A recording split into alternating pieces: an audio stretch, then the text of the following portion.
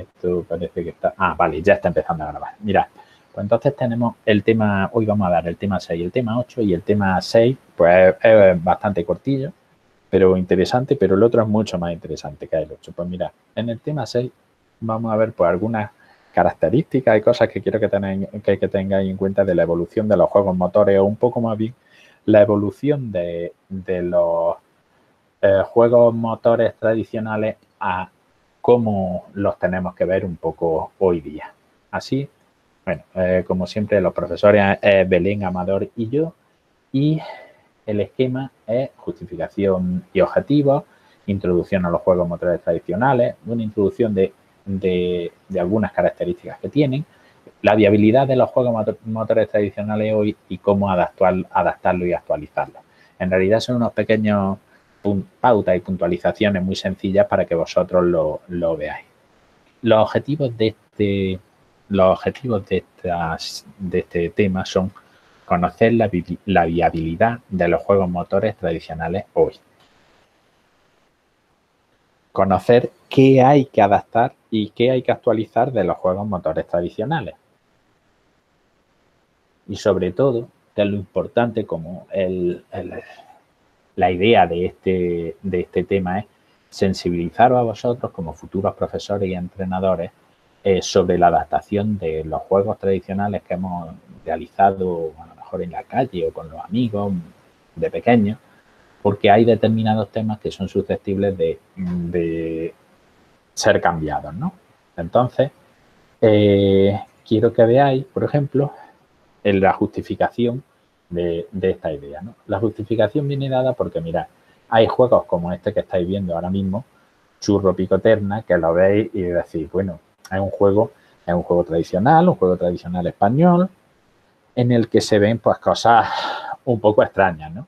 Esas cosas un poco extrañas que, es que dices, bueno, aquí a lo mejor eh, se están golpeando, están resistiendo un peso grandísimo los que están aquí en medio, eh, el que está aquí apoyado, no sabemos si, si se van a hacer daño en la cabeza, en la columna, bueno, ese tipo de cosas. Os pongo el vídeo para que lo veáis un poco y es solamente para que, para que veáis el tema de, de cómo están, pues eso, aún pueden lanzarse más y, o sea, daros cuenta eh, hasta qué punto pues, puede ser relativamente peligroso puede, o problemático realizar este tipo de, de juegos, pero bueno, son juegos que se han realizado tradicionalmente, juegos en los que hay fuerza, velocidad, se realizan saltos, desplazamientos, son juegos motores tradicionales.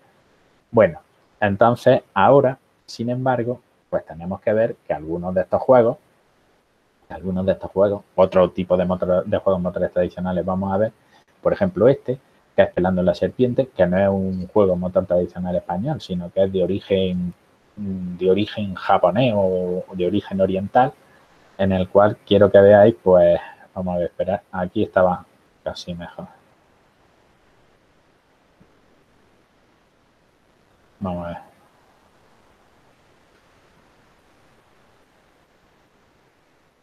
No, estaba bien ahí. Vale. Mirad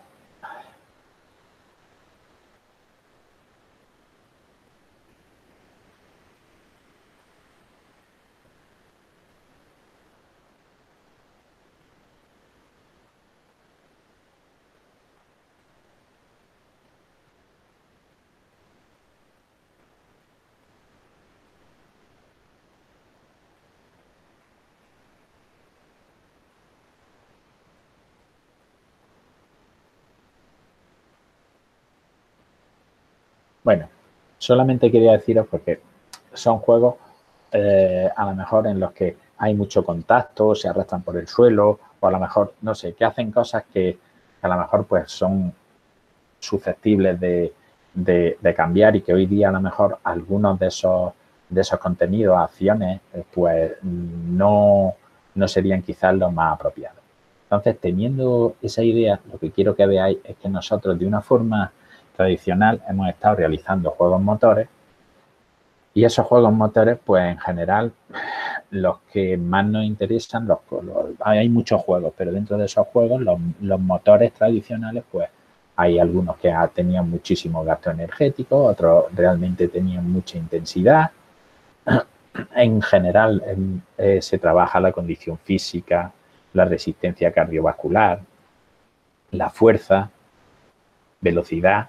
Hay de todo tipo de juegos y, se trabajan diferentes eh, capacidades y también habilidades básicas como los desplazamientos, habilidades de coordinación, giro, equilibrio, eh, movilidad articular y estiramiento, trepa, ritmo, o sea, se eh, abarca una amplitud de habilidades, gestos, etcétera, etcétera, saltos, transporte, etcétera. Entonces, esas cosas son positivas dentro de, los juegos.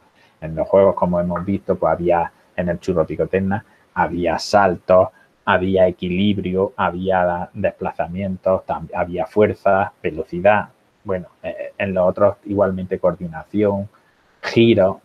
Eh, lo que quiero que veáis que son muchas cosas, muchos contenidos que son muy interesantes para, para los juegos motores, por toda la parte de movilidad, condición física, capacidades físicas que se trabajan, habilidades básicas. Sin embargo, estos juegos, pues por algunas circunstancias, pues lo mismo no tienen tanta viabilidad hoy día como, como lo veíamos hace unos años. Pero no es que no tengan viabilidad, sí tienen viabilidad, pero con pequeñas modificaciones. ¿A qué me refiero? Pues que, por ejemplo, nos parece muy interesante que existan cooperación, que existan eh, otros objetivos diferentes a los que a los que hemos visto físicos, y por eso nos parece que son muy viables, porque eh, también se trabajan otro tipo de, dentro, otro tipo de, de, objetivos y contenidos que pueden ser interesantes para, para llevarlo a cabo, como es la cooperación, oposición, liderazgo, competición, creatividad, razonamiento. En general, lo han, han aguantado esa evolución durante el tiempo por algo muy importante y es que además de desarrollar ese tipo de contenidos, pues eran muy divertidos eh, de todas las edades, hay para más pequeños, para más grandes. Se realizan en multitud de instalaciones, tanto en cualquier lugar o plaza, que es donde tradicionalmente pues a lo mejor se han jugado, como también juegos que son totalmente de eh, al aire libre, exterior y de una forma más reciente, pues juegos que son de interior, también hay juegos que tradicionalmente han sido de interior o dentro de un pabellón o incluso dentro de algún tipo de instalación específica, que incluso han llegado a nuestros días algún tipo de instalación específica para eso. Igualmente la localización están en todo el mundo. Hemos visto juegos, el, juego que he presentado de Pelando la Serpiente es de origen, eh, de origen oriental, de Japón o por ahí, y tenemos el churro picoterna, que es típico juego español, o sea, de localizaciones muy diversas en todo el mundo. Igualmente utilizando, a lo mejor utilizando poco material o materiales normales y estándares o incluso materiales más específicos. Bien, eso pues son otras características que tienen estos juegos, por lo cual pues dice, pues son viables y tal, pero hemos visto que había algunas cosas extrañas que pueden ser, por ejemplo, pues que hay algunos juegos que también son tradicionales, pero aunque hayan sido considerados como juegos, juegos tradicionales de los niños, son excesivamente estáticos. A lo mejor tenemos que modificarlos para que sean mm, menos estáticos. No juegos como los que hemos visto, sino otros juegos en los que a lo mejor existen juegos de relevos, por ejemplo, en los que existen excesivos parones eh, entre el juego, sin que eso sea una parada necesaria para poder seguir jugando, sino que son excesivamente estáticos. O juegos en los que, como hemos visto, estos dos juegos anteriores hay mucho contacto y existen pequeños peligros que pueden ser, por ejemplo, algún peligro de lesión. Entonces tenemos que ir modificándolo y viendo, ¿a este juego se podría jugar tal y como es? Pues a lo mejor probablemente no. Había que intentar hacerlo de otra forma porque lo de caer encima de la espalda y eso pues realmente bastante, puede haber bastante peligro, ¿no? Entonces, tenemos que ver que incluso algunos juegos de estos directamente no podríamos realizarlos. Algunos incluso tienen que, se, que, son excesivamente exigentes en lo, en lo que se pide, los retos y desafíos que se piden en ese juego y a lo mejor son excesivo alto rendimiento el que se, el que, el que se pide, por el cual o incluso puede haber relacionados con, con ese alto rendimiento, caídas o choques fortuitos, etcétera. Entonces tenemos que ir viendo que ese tipo de cosas quizás hay algunas que hay que ir eliminándolas. Hay que ir eliminando pues para que sean más seguros, para que haya menos problemas, para que haya menos caídas. Por, el fin es que no tenemos que utilizar juegos que no sean saludables. Entonces tenemos que evitar esos juegos no saludables y adaptarlos de otra forma. Eh, también hay juegos en los que se utilizan materiales que pueden ser eh, utilizados incluso como armas. Entonces, eh, cuando estamos jugando a hockey o a, o a floorball, pues un palo, o cuando estamos jugando con algo que esté con una pica, pues esos palos y esas cosas pueden utilizar, o esas picas, pueden utilizarlo en un momento determinado para golpear a, otros. Tenemos que tener muchísimo cuidado y quitarlos. Pues, por ejemplo, si tenemos la posibilidad de jugar al pitch o, o el softball o el béisbol, que en vez de con un bate de béisbol o algo así, con un bate de softball o, o cosas más suaves, pues muchísimo mejor, ¿no? Otros que además, por la situación de cómo se pueda, cómo se juega, puedan generar violencia. Pues tenemos que intentar evitarlo. Ese tipo de cosas tenemos que quitarlas y adaptarlas en función de cómo es el juego, o si no, a lo mejor habría que quitarlo. También está eh, la violencia intencionada, violencia que puede haber, violencia que puede haber entre, entre los jugadores, porque quieran disputarse un balón y ya, por ejemplo, y, algunos ya por estar tan metidos pueden eh, generar violencia. Eso hay que evitarlo.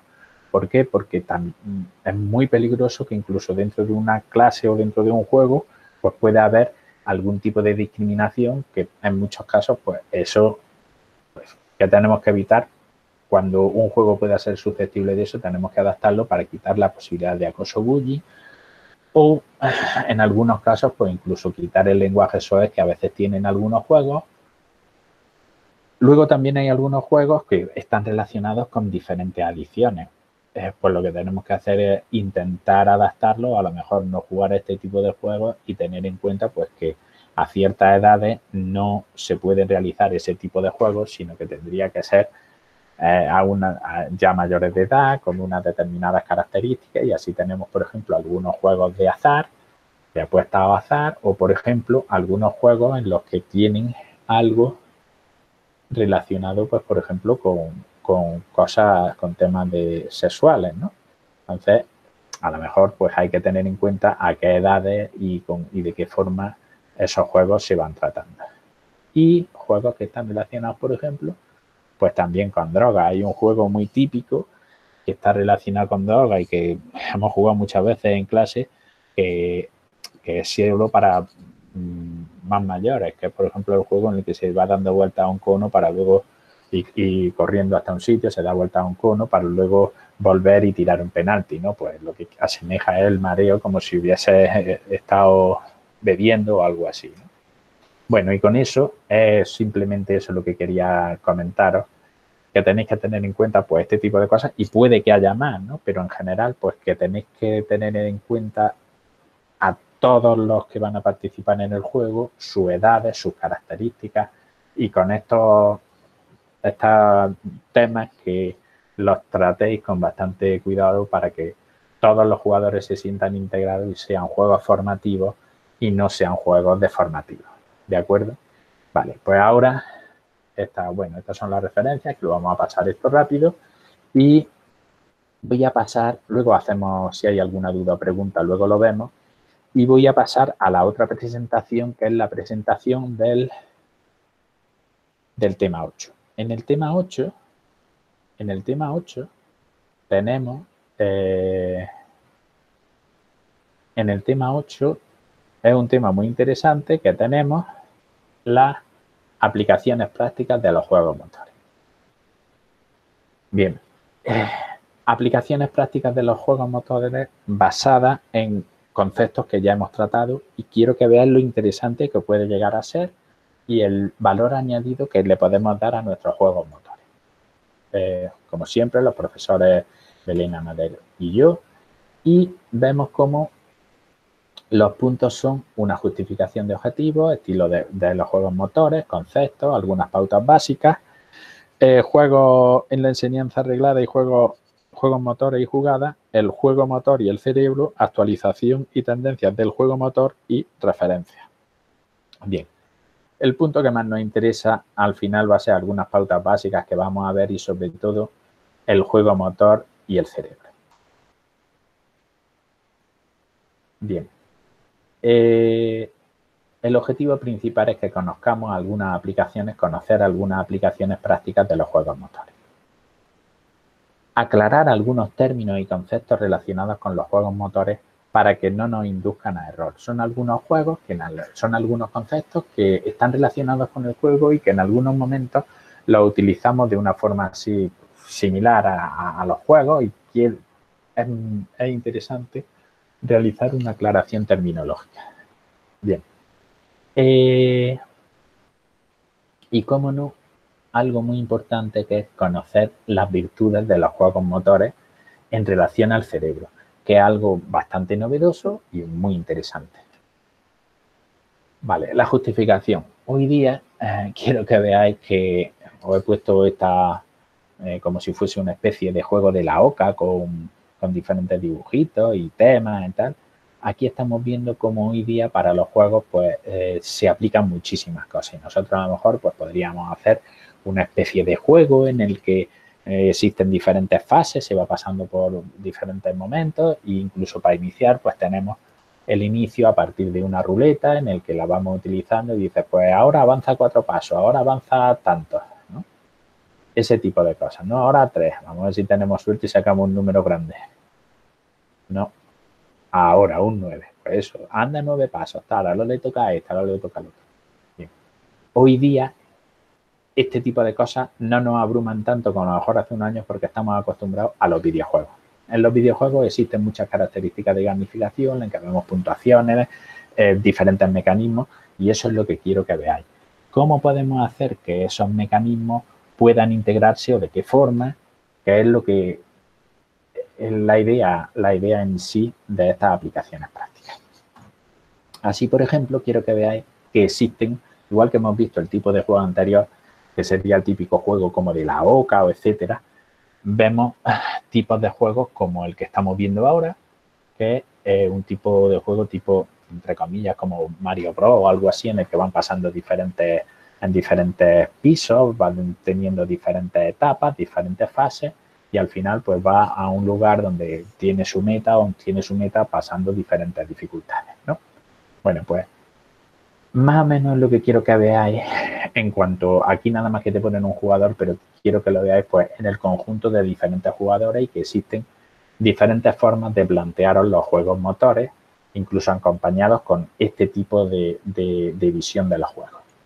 Eh, así, por ejemplo, directamente ya contextualizado en los juegos motores que realizamos, por ejemplo, en clase, en clase pues tenemos aquí este juego que es el barranco del infierno o algo así, o el cañón del infierno, en el cual, mm, si lo vemos, eh, quiero que veáis que en este juego es que básicamente unos van pasando y los de los dos lados intentan golpearlos con un balón para matarlos, ¿no? Y los que llegan tienen que llegar y poner los aros dentro del este para marcar el punto pero mientras van pasando es golpeo de balón, golpeo de balón para intentar matarlo y que no, y que no llegue.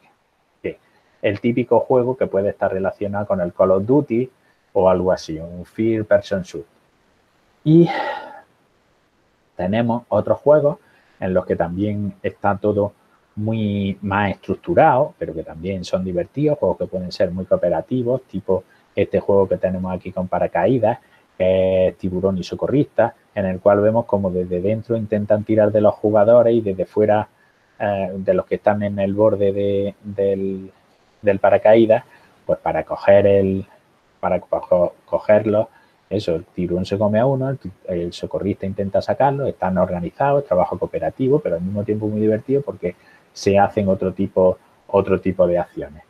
Y, por ejemplo, este que es muy interesante porque es el corta hilo en el cual pues se ven diferentes acciones y un caos tremendo cuando vemos quién es que le toca pillar a quién, se ha perdido, se ha cruzado otro, no sabes cómo seguir el juego en ese momento y existe un poco caos porque eh, la gente se, se, cruza, no sabe dónde va orientado. Bueno, este tipo de cosas que ocurre en, en este juego.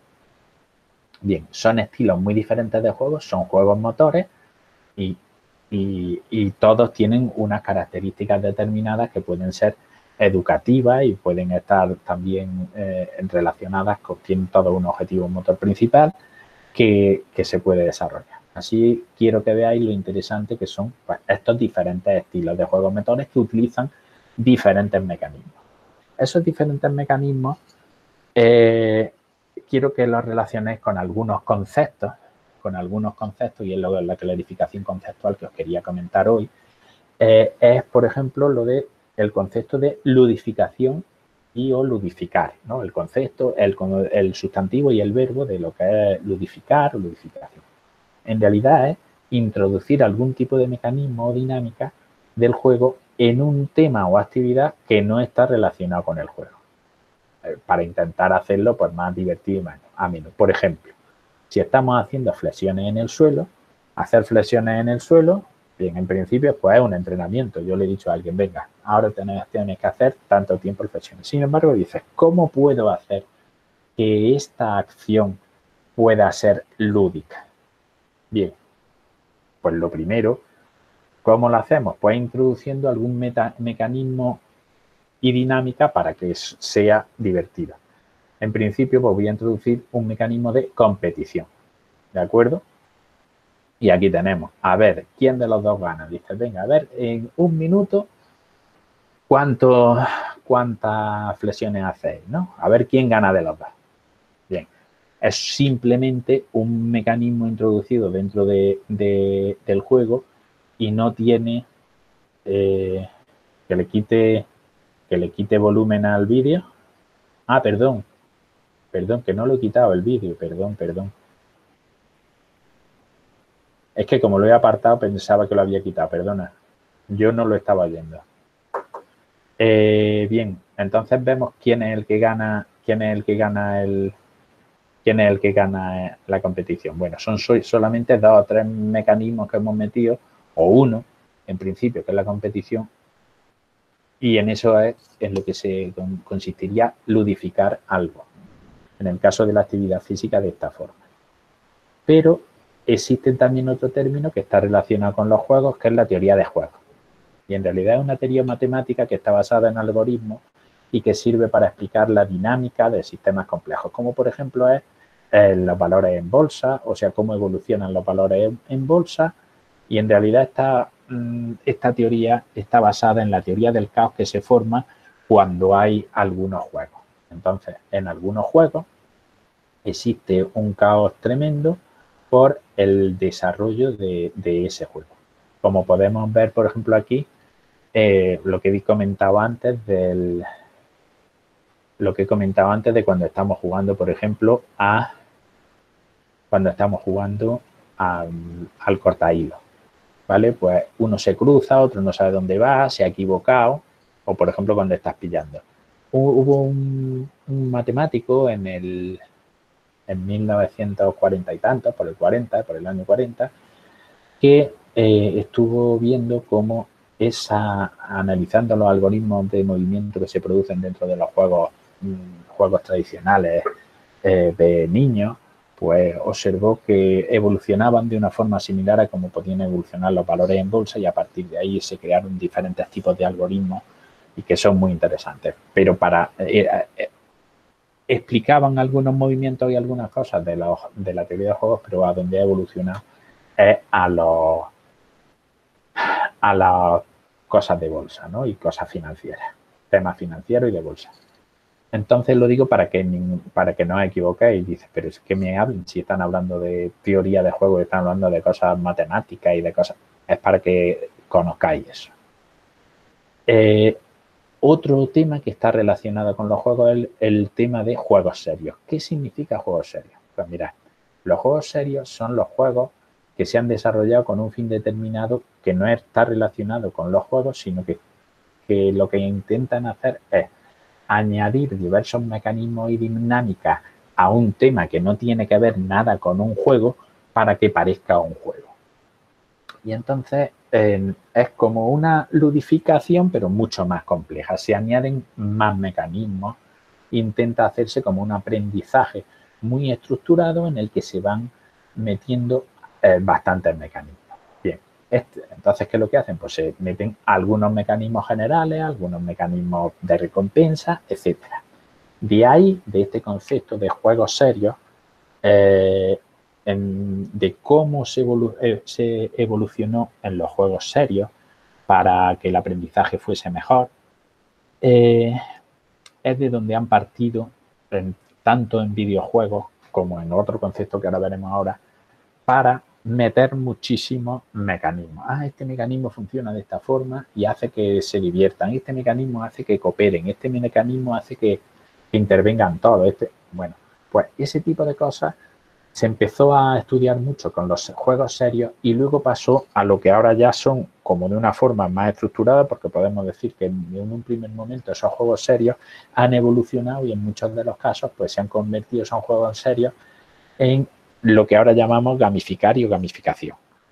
O sea, tanto el sustantivo como el verbo, que sería la máxima expresión de esos juegos serios a los que se le añaden muchos mecanismos, muchas dinámicas en los juegos y se desarrolla una actividad que está basada, eh, una, una actividad de aprendizaje que está basada en el juego. O sea, jugando eh, con los mecanismos que estamos poniendo en ese juego, que se ponen muchos mecanismos, lo que queremos realizar es realizar un aprendizaje determinado. Entonces, para eso todos conoceréis eh, diferentes juegos a los que le ponen mecanismos programados, mecanismos de, de recompensas programadas, mecanismos generales, etcétera. Los diferentes mecanismos que hemos visto en juegos que, vaya, juegos en aplicaciones, por ejemplo, de teléfono que vosotros habréis visto, como el Health para controlar la actividad física en relación con vuestra salud, o, por ejemplo, juegos que están relacionados con eh, el aprendizaje de idiomas,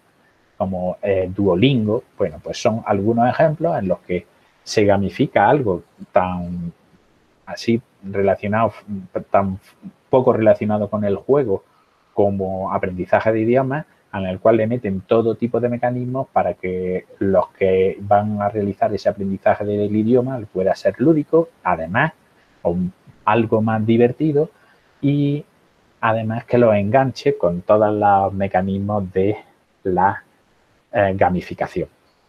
Eh, o sea, con todos los mecanismos del juego.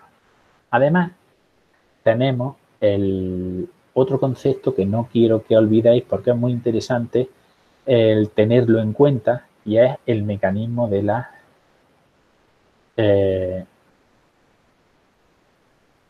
el mecanismo de la de la ¿cómo se llama? el mecanismo de la borificar y o borificación ese mecanismo ese mecanismo, perdón, ese mecanismo que me he equivocado, ese concepto eh, está relacionado con el centrarnos en el mecanismo frente al objetivo principal del, eh, de ese juego o de esa gamificación. Y es cuando en los juegos serios o en la gamificación se pierde el objetivo principal de aprendizaje y o el desarrollo de ese juego si estamos, por ejemplo, hablando de juegos motores, y eso está en contra o frente a la puesta en funcionamiento del mecanismo y la dinámica. O sea, damos más importancia a cómo poner en funcionamiento un mecanismo determinado frente a la realización, el objetivo principal del juego que podría ser, el objetivo principal de esa actividad que podría ser realizar un juego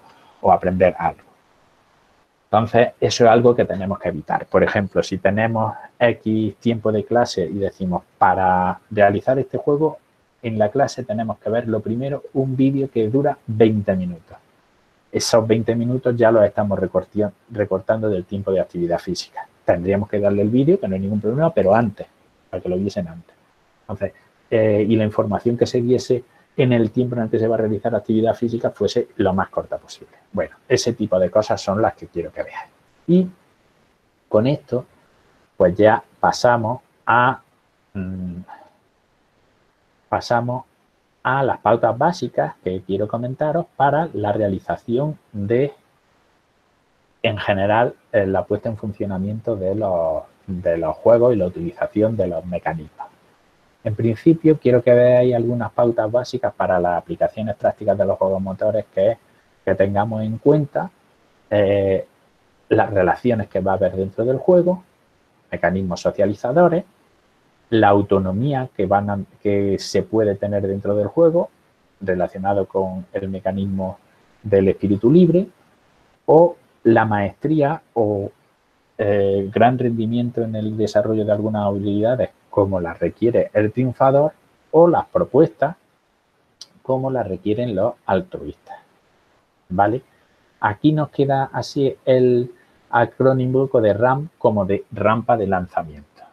Y eh, también tenemos los dos mecanismos que están relacionados con los jugadores en general, eh, perdón, los, los, dos mecanismos que están relacionados con el juego, que son los mecanismos de jugadores y los mecanismos de disruptores, que eso realmente uno va a funcionar casi siempre, que van a ser los mecanismos de jugador, y luego los mecanismos de disruptor, pues eh, van a utilizarse de una forma muy puntual, porque en realidad la palabra lo dice, pues van a romper el juego y, y tiene que ser siempre en una parte final o en una cuestión muy concreta del juego. Y otras pautas básicas que quiero que tengáis en cuenta son que en los juegos motores nosotros lo que queremos es realizar el máximo tiempo de actividad física. Ese máximo tiempo de actividad física en los juegos motores lo tenemos que intentar eh, llevar con la motivación dentro del juego. Y esa motivación dentro del juego la tenemos que intentar para que haya el máximo tiempo de actividad física embarcando a los jugadores dentro del juego para eso hay mecanismos eh, generales eh, que, se aplican en eso, entusiasmar con las actividades que proponemos dentro del juego para que estén el máximo tiempo posible empleándose, realizando esa actividad en el juego. Y al final enamorándolos en el juego, lo que significa que están, eh, que el juego les encanta y que no van esa curva no va a bajar, sino que esa curva se va a quedar eh, siempre alta porque le ha gustado ese juego y quieren repetir ese juego y no al revés que, baje el juego como en que baje el juego, sino que siempre van a, querer estar eh, realizando esa actividad física. Y aquí dejo el acrónimo de embarcar, entusiasmar, emplear y enamorar dentro del juego. Bien, y ahora pasamos a un punto que es muy interesante, que es el juego motor y el cerebro. ¿Qué relación tienen el, jugar y la actividad cerebral? Pues mira, tradicionalmente cuando estábamos jugando eh, nos decían que estábamos perdiendo el tiempo. Nos decían jugar es una pérdida del tiempo. Sin, el, sin embargo, nosotros la idea es que primero no estás perdiendo el tiempo porque estamos haciendo actividad física en los juegos motores. Entonces, pues en principio, pues no se está perdiendo el tiempo, pero tradicionalmente existe el concepto de que jugar es una pérdida de tiempo. Bien, pues vamos a ver qué es lo que ocurre con los juegos, incluso más allá de lo que es la actividad física en sí. Pues más allá de la actividad física en sí, tenemos que hasta hace poco tiempo ¿Por qué se consideraban que los juegos eran una pérdida de tiempo? Porque, por ejemplo, el juego mejor del mundo era, por ejemplo, el ajedrez. ¿Por qué? Porque era el que desarrollaba más eh, la actividad cerebral. Claro, el tema de por qué desarrollaba esa actividad cerebral era debido a las métricas que se utilizaban. No podían medir a unos que estaban, por ejemplo, jugando al rugby, que hay 15 contra 15, no podían ponerle un un analizador de la actividad cerebral, unos cables y tal, porque estaban corriendo, chocando. Sin embargo, a unos que están sentados en una mesa de ajedrez, pues están totalmente estáticos, pero sí pueden medirlo. Esto desarrolla mucho el cerebro. Claro, cualquiera que lo ve desde nuestro punto de vista dice, pues si hay, que allí están pensando 16 fichas contra 16 fichas, ¿Qué no se puede hacer, por ejemplo, cuando están jugando 15 contra 15, con la opción del movimiento del balón, etcétera, etcétera, o en las múltiples jugadas que se dan en otros deportes, aunque haya menos jugadores. ¿De acuerdo? Con la evolución de las métricas, lo que nos hemos dado cuenta es que incluso solamente con andar, andar en una cinta, en un tapiz rodante, es ya eh, se realiza muchísima actividad física. Vale, eso claro, pero es que se realiza actividad física que activa el cerebro. Entonces dice, solamente con andar y o, correr en una en una tapiz rodante se puede eh, desarrollar la actividad cerebral, sí, se desarrolla muchísima actividad cerebral. Parece que incluso mucho más que cuando uno está jugando al ajedrez, cosa que no dudo. Bueno, pues entonces, ¿qué es lo que ocurre? Que gracias a que ha evolucionado la métrica, ya estamos viendo que solamente por hacer actividad física ocurre esto. Pero más allá de eso, estamos viendo que ¿qué es lo que ocurre? Pues si se realiza actividad cerebral, significa que nuestro cerebro, cuando estamos realizando actividad física, nuestro cerebro se está poniendo fuerte porque estamos cumpliendo el objetivo de realizar actividad física, porque en los juegos motores el objetivo principal es la actividad física y es lo que tenemos que tener en cuenta. Entonces tenemos nuestro juego motor, se cumple el objetivo, nuestro cerebro eh, está activado, no solamente nuestro cuerpo, sino también nuestro cerebro. Además nos estamos divirtiendo y estamos utilizando, si cumplimos el objetivo principal, el máximo tiempo posible de actividad física. O sea, eso está muy bien, pero es que parece que ahora con las nuevas métricas no solamente ocurre eso, sino que es que además existe un incremento de masa gris. Un incremento, sean, hay diferentes estudios que proporcionan evidencias en las cuales dicen que solamente por estar eh, jugando a determinada, jugando de una determinada forma, eh, pues hay un incremento de masa gris a todas las edades. Entonces dices, ¿cuáles son eso, ¿cómo se realiza esa, esa, incremento de masa gris? Pues en general, las actividades, o dices, ¿qué actividades son las que, las que pueden proporcionar? En general, jugar, mm, sobre todo, con contenidos relacionados con el equilibrio, con contenidos relacionados con malabares. Entonces, dices, yo tengo la opción de mejorar la masa gris con el entrenamiento de equilibrio, con el entrenamiento de malabares, con el entrenamiento en orientación. Esos son ahora mismo, yo creo que muchos más también lo harán, pero todavía las métricas que se han podido utilizar pues son sobre todo en eso, la orientación en el espacio y la orientación en el espacio es pues, saltar haciendo cosas, por ejemplo, con, con de gimnasia deportiva y también moverse por el campo, moverse por la ciudad, ese tipo de orientación. Entonces nos damos cuenta que realizar actividad física y sobre todo ahora mismo, yo creo que de más cosas habrá, equilibrio, malabares, orientación, hace que nuestro cerebro, nuestro cerebro incremente masa gris, tengamos actividad cerebral y además esté más, sano. Bueno, pues está claro que entonces los juegos motores eh, se puede decir que, que, pueden ser una medicina total, pero ¿cómo o en qué dosis o de qué forma hay que hacer, hay que hay que administrar esa, medicina. Bien, la idea es, por ejemplo, lo vamos a hacer con el contenido de equilibrio.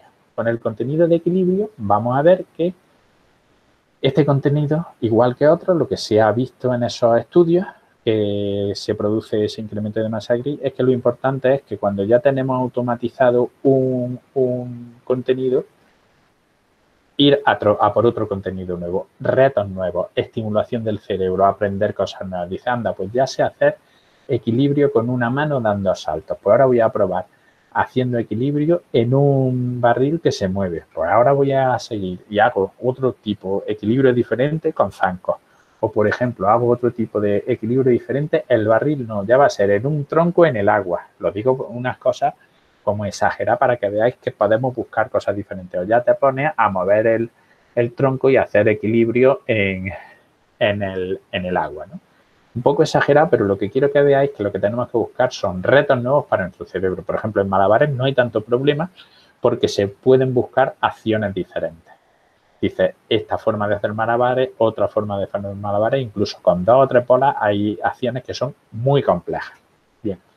Y ahora eso, eso, esos diferentes contenidos, cuando estamos realizando actividad física, lo que hacen es que eh, esos contenidos lo que hacen es que estimulan diferentes zonas del cerebro. ¿Qué diferentes zonas del cerebro estimulan? Ahora mismo no los vamos a, ver, pero son diferentes porque no nos interesa tanto la, parte fisiológica de las diferentes zonas del cerebro que se estimulan, sino con qué mecanismos las estimulan. Entonces, por ejemplo, un típico mecanismo pues es que quiere hacerlo correr y le pones la zanahoria delante. Pero bueno, esto es un poco broma para que veamos qué mecanismo o cómo lo podíamos hacer. Y ahora lo que quiero que veáis que esos mecanismos lo que tenemos que intentar es, por ejemplo, ahora con un mecanismo de competición, nosotros lo que tenemos que ver es cómo o cómo intentar activar esa zona del cerebro. Entonces, esa zona del cerebro se va a activar utilizando pues, un mecanismo. Nosotros ya sabemos que el cerebro se activa utilizando unos mecanismos, pues vamos a utilizarlo. Entonces, lo que tenemos que hacer es activar nuestro cerebro. Tenemos que, queremos utilizar nuestro, nuestro cerebro mejor y lo activamos, pues entonces lo que hacemos es activar nuestro cerebro para que esas diferentes zonas activarlo y que también pueda incrementarse esa masa gris. Pero en general los mecanismos, si no estamos realizando retos nuevos de aprendizaje, lo único que van a hacer es activar, activar nuestro cerebro. ¿Qué se produce cuando se activa el cerebro? Lo que se produce cuando se activa el cerebro son diferentes, diferentes intercambios de información a través de las neuronas y esas neuronas lo que hacen es intercambiar diferentes sustancias químicas, por lo cual ahí se produce esa actividad cerebral. Esas sustancias químicas, como lo veis aquí, pues serían determinadas sustancias, con lo cual al final en nuestro, en nuestro cerebro lo que se producen son diferentes reacciones químicas. Bueno, pues si estamos realizando diferentes reacciones químicas, lo que tenemos que hacer es estudiar la tabla periódica de los elementos, que la tenemos aquí, de los elementos químicos.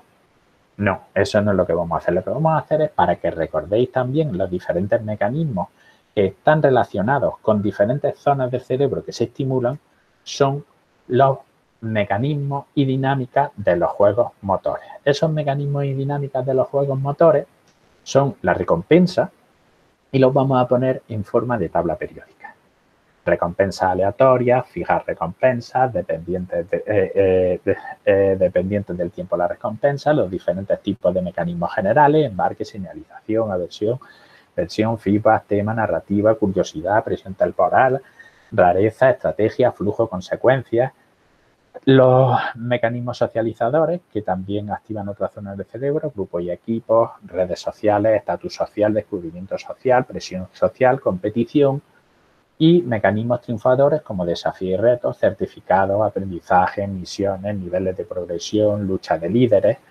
eh, y mecanismos de espíritu libre como exploración, nociones ramificadas, regalos inesperados, de, eh, contenido desbloqueable, herramientas de creatividad, adaptación. Y los mecanismos altruistas como protestas altruistas, cuidado y protección, acceso, colección, regalar, compartir, compartir conocimiento o los mecanismos eh, que, activan otras zonas del cerebro como los relacionados con los mecanismos del jugador, puntos, premios, líderes de la clasificación, insignia y logro, economía virtual, lotería y mecanismos disruptores como plataformas de innovación, votación, herramientas de desarrollo, anonimato, ligero toque y anarquía. Entonces aquí tenemos la tabla periódica, para que podáis recordarlo, la tabla periódica de los mecanismos de los juegos motores.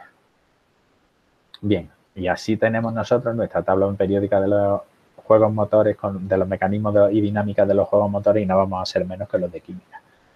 Bueno, aquí la tenéis tipo con diferentes colores para que diferenciéis los, diferentes, los distintos mecanismos, pero ya que lo tenemos aquí, fijaros ahora mismo en recompensas que eh, lo vamos a cambiar por los dibujos que puedan ser dibujos eh, para que vosotros los veáis que son dibujos que pueden ser susceptibles de ser dibujados. Y así vemos cómo los mecanismos de recompensa general, de, recompensa, los mecanismos generales, los mecanismos socializadores, se van convirtiendo en eh, unos, em, los mecanismos eh, triunfadores, eh, se van convirtiendo en mecanismos, en unos simbolitos con dibujos. Los mecanismos espíritu libre, de color azul, los mecanismos altruistas de color naranja, los mecanismos del jugador de, color morado y los mecanismos del disruptor de color rojo. Bien, y como no, ya que los tenemos también, esta es la tabla periódica que tenemos con, la tenemos con letras, para que podáis aprender los nombres, la tenemos con estos dibujitos que se puedan dibujar y la tenemos también la tabla periódica con imágenes en tres dimensiones y entonces vemos cómo ahora empiezan a convertirse los mecanismos de recompensa se convierten en dibujos en tres dimensiones, los mecanismos generales, los mecanismos eh, socializadores, los mecanismos triunfadores en verde, los mecanismos del espíritu libre, los mecanismos altruistas, los mecanismos del jugador y los mecanismos disruptores. Y aquí tenéis la tabla periódica de los mecanismos y dinámicas de los juegos motores. Bien, pues espero que os hayan gustado las, tres tablas periódicas, os aseguro que tiene un poquillo de trabajo. Y eh, nada, pasamos, ya está, a las referencias y finalmente, pues si tenéis ahora cualquier duda o pregunta, pues es el momento de realizar cualquier duda o pregunta sobre la sesión que hemos hecho ahora primero y luego si hay otra cuestión también. Eh, preguntas.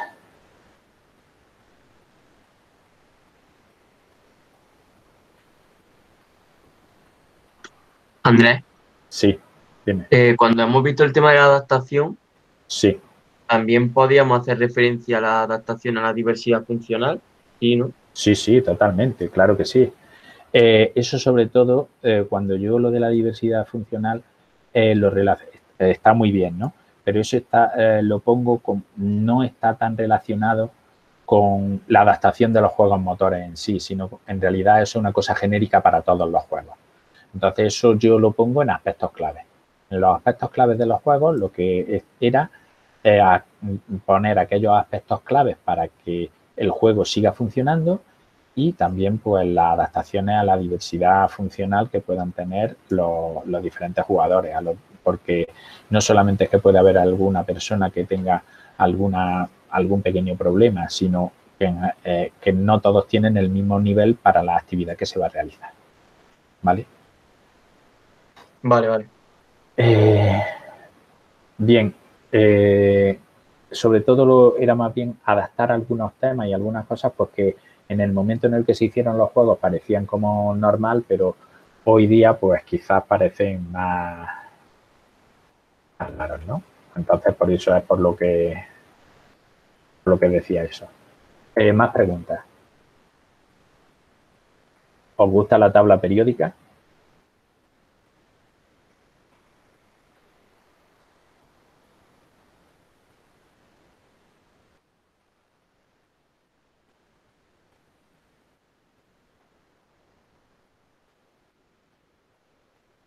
Eh,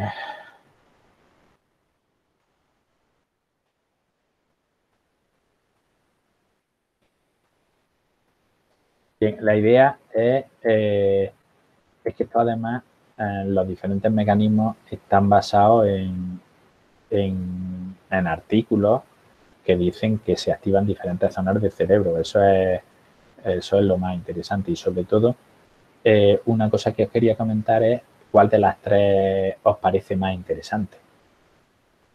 Sí, eh, Revuelta me pregunta que si están todos los mecanismos. Sí, están los 52 mecanismos, míralo. En realidad son dos tipos genéricos de mecanismos que son el comunes a todos los juegos, que son las recompensas programadas, los mecanismos generales, los que están aquí abajo, y luego los dos primeros, y luego los otros seis, que van con sus colores, que es los mecanismos socializadores, triunfadores, espíritu libre, espíritu libre, altruistas, jugadores y, disruptores.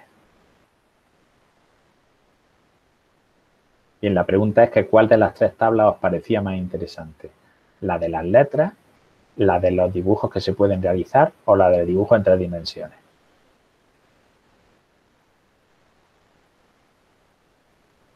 Podéis responder por el chat eh, Jerónimo Martínez, la de las letras. La de las letras lo que, lo que ocurre que es interesante es que se parece y entonces la ves totalmente igual o parece una, una de, de, ¿cómo se llama? Parece una de, parece una tabla periódica, ¿no?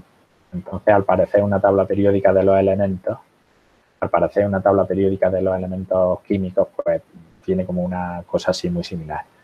Eh, pero bueno, la hice las tres de esta forma porque una quiero que se pueda recordar para utilizarlas con el como texto y que recordéis los nombres.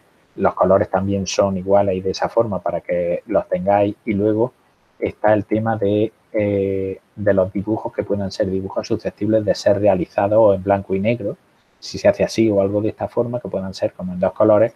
Y luego ya los tres, los de en tres dimensiones, pues ya un poco ya rizar el rizo para intentar que pueda ser mucho más visual. ¿Vale?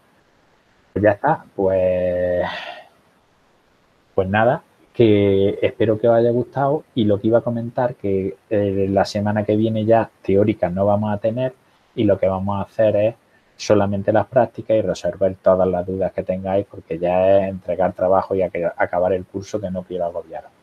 ¿De acuerdo? Pues ya está. Eh, mañana nos vemos en las prácticas. ¿De acuerdo? Si no hay ninguna pregunta. Andrés, eh, yo te quería hacer una pregunta. Para el tema de las dudas. Sí. ¿Prefieres eh, tutoría o que te mandemos un correo? ¿Cómo, cómo quieres que.? Me da exactamente igual, como tú, vamos a ver, como tú quieras. A mí me dices, quiero una tutoría, pues entonces, por ejemplo, eh, me manda un email y yo te digo cuándo puedo atenderte, que por ejemplo lo normal es que dices, pues me manda ahora el correo y te digo, pues mañana por la tarde como a las 5 o algo así. Es cuando la mayoría estoy utilizando las, mm, las tardes de los lunes y los miércoles, eh, que las pongo, que os pongo como a una distancia como de en cuarto de hora, cuarto de hora, pero al final se lían, se lía y me tiro tres horas. Vale, Pero que me da igual, ¿no? O sea, que lo que quiero decir es que normalmente lo estoy poniendo a esa hora. Mm, es cierto, a lo mejor algún día que he tenido algún tiempo a otra hora, ¿de acuerdo? Pero mm, te lo digo porque me manda un email y me dice, pues mira, una tutoría y quedo contigo, ¿vale? Vale, perfecto, gracias. Nada. Eh, pues ya está. Eh, pues nada más que eso, que con esto acabamos la sesión y mañana ya nos vemos, ya nos vemos en la clase práctica.